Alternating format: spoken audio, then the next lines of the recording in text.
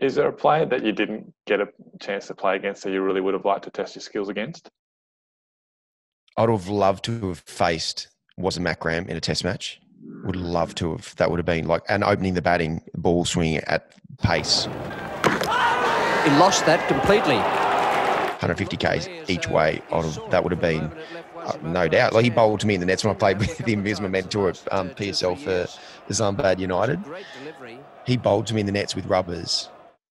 And he was still so skillful. wasn't obviously uh, that fast, like relative to what he bowled, but geez. So yeah, he was.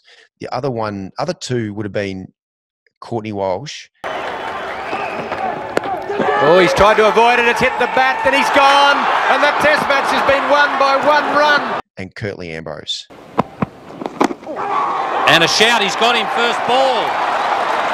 So Ambrose is now on a hat trick, having got rid of Boone and Border in successive deliveries. Everything was bouncing up around your throat.